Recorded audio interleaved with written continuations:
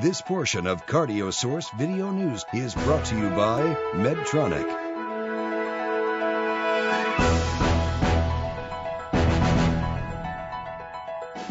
Welcome back to CardioSource Video News. I'm Dr. Randy Martin. There have been a lot of innovations in interventional cardiology and especially in stent technology. Joining us now is Dr. Peter Block to talk about the ISAR Test 5, a study that compared drug eluting stents. Peter, tell us what you've learned.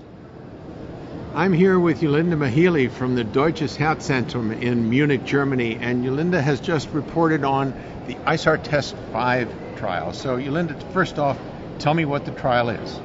The ISAR Test 5 trial is the stent comparison trial aimed to compare a dual drug-eluting stent with zotarolimus-eluting uh, stent.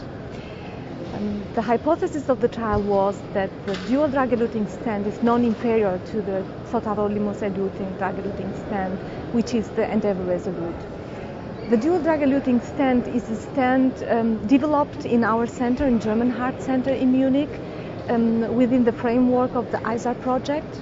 It's a stent with uh, active compounds which are rapamycin and probucol, both of them mixed together and um, applied upon the surface of, upon the microporous surface of um, um, bare metal stent.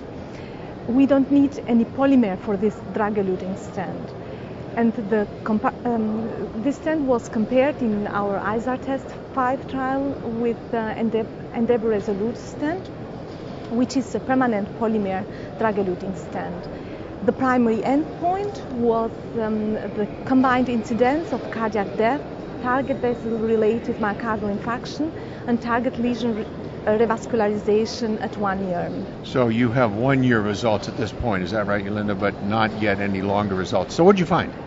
Uh, we found that both stents are very comparable according to the primary endpoint. We had a device-oriented MACE rate of 13% with both devices.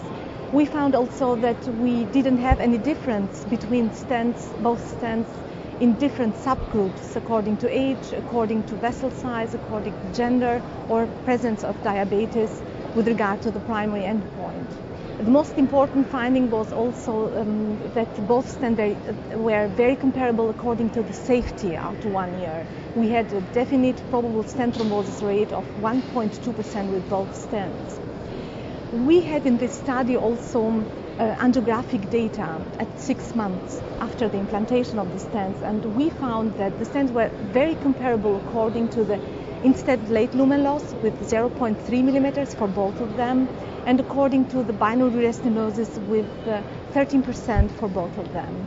So really pretty good comparable outcomes for a non-polymer stent.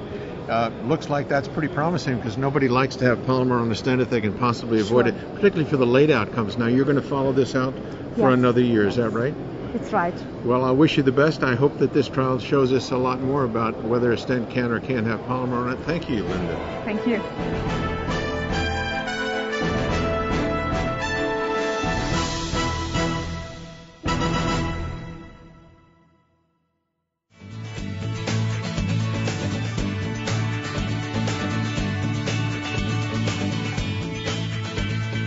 Medtronic proudly introduces Integrity BMS, now available in the U.S. Visit MedtronicStents.com for more information